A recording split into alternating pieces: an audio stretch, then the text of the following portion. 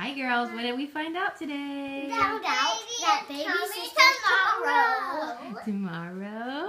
Are you so excited? Yes, ma'am. Yes. Go back over there where I can see you. Yes, ma'am. Yes, you guys put your pajamas on at 3 o'clock in the afternoon. What? You just want tomorrow to come faster? Yes. Yes. Yes. Are you so excited to hold her? Yes. And squeeze her? And smooch her? Yes. Yes. Can I, mommy, hold her first? Yeah, mommy gets to hold her first, then daddy second, and then you girls. You so Can I excited? be the first one to hold her? Excuse me. No way. Mommy gets her first. No, the first. I just have one more question one for you. Who are the best big sisters in the world?